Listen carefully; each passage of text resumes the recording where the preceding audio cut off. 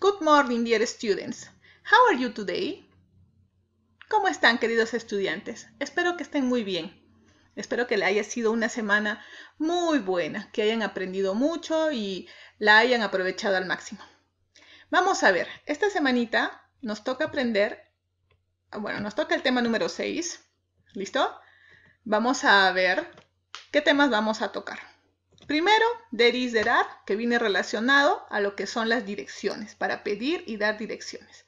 Las preposiciones de lugar, como te dije, ¿no? Giving directions, para dar direcciones. Y asimismo, un vocabulario de los lugares.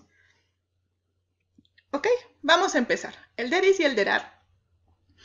utilizamos el there is para indicar la existencia de objetos en singular y utilizamos el there are para los objetos que están en plural. La estructura gramatical es la siguiente. En oraciones afirmativas debo poner el there, el verbo to be, el número, el artículo y el sustantivo. Pareciera complicado, pero mira, lo tienes aquí en una oración. There is a pool. Lo cumple. ¿Listo? There are two bedrooms. Lo cumple, porque ambos tienen el there, ambos tienen el verbo to be, ambos tienen el número o el artículo, ¿listo? Y luego el sustantivo. ¿Ok? Luego tengo, de la forma negativa, pongo el there, el verbo to be, el not, el número del artículo y el sustantivo. Simplemente le agrego el not. ¿Y qué es lo que voy a negar? El verbo to be. ¿Listo? De manera contraída o utilizando la contracción. There isn't a yard o there aren't three bathrooms. ¿Ok?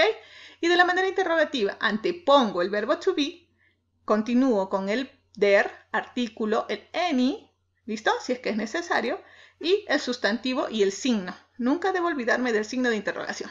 Entonces, diré, ¿Is there an attic? Yes, there is. No, there isn't. Y asimismo, ¿Are there any bathtubs? Yes, there are. No, there aren't. Muy bien, continuamos. Cuando nos veamos en la videoconferencia vamos a desarrollar esta actividad. ¿De acuerdo? Tienes que tener tu lapicito y si es de color, mejor. Te enseño lo que es dar direcciones y hay un pequeño vocabulario también ahí. De traffic lights, roundabout, sidewalk, zebra crossing, across road, en fin. ¿Listo? Este vocabulario también lo tienes en tu actividad tanto en inglés como en español, para que puedas guiarte y poder trabajar el resto de la actividad significativa. Mira, Ahora te voy a poner un pequeño vocabulario de los lugares que hay en una ciudad, ¿ya? Incluso tienes ahí una dirección en YouTube donde hay también palabras y también te dan sobre un vocabulario sobre los lugares de una ciudad, ¿ya? Y te enseñan a dar direcciones. Entonces, ese va a ser nuestro material de apoyo, ¿de acuerdo? Muy bien, mira, dice places in a town. Vamos a reconocer en nuestra actividad significativa ¿Cómo es que debo poner? ¿Qué número correspondería a cada dibujito? Lo vemos en la actividad para poderlo trabajar y en la videoconferencia lo resolvemos.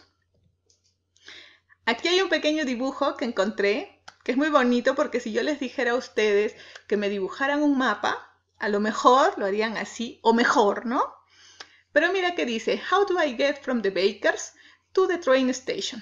Entonces, me pide la dirección. ¿Cómo llego a la panadería desde la estación del tren? ¿Ya? Entonces, ¿dónde está la estación del tren? ¿La ubicas? Y desde ahí empieza la dirección. Turn to the right and go straight on. There's the train station. ¿Listo? ¿Qué dice? Dobla a la derecha y luego ve de frente y vas a encontrar la estación del tren. Súper sencillo. ¿Ok? Vamos a continuar. Ah, tenemos una practiquita que también la vamos a ver en nuestra actividad significativa en la videoconferencia. No te apures, ¿ah? No la resuelvas antes. Tienes que esperar. Vamos a ver.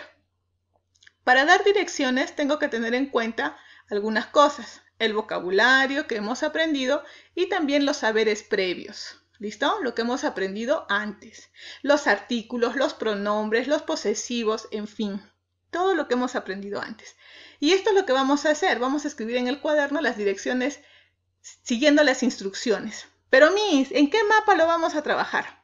En este, tarán, en este lo vamos a hacer. pero lo vamos a hacer en la actividad significativa.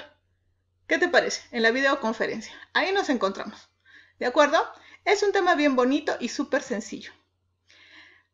Ah, también este, te voy a poner o te he puesto una canción.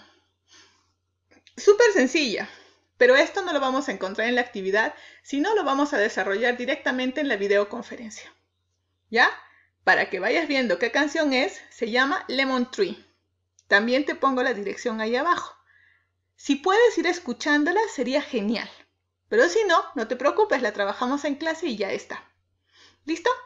Muy bien, queridos estudiantes. Con esto hemos llegado al final de, de, nuestra, de nuestro video, ¿ya? Y ahora vamos a esperar nuestra videoconferencia para podernos ver y desarrollarlo juntos. ¿Listo? See you next week.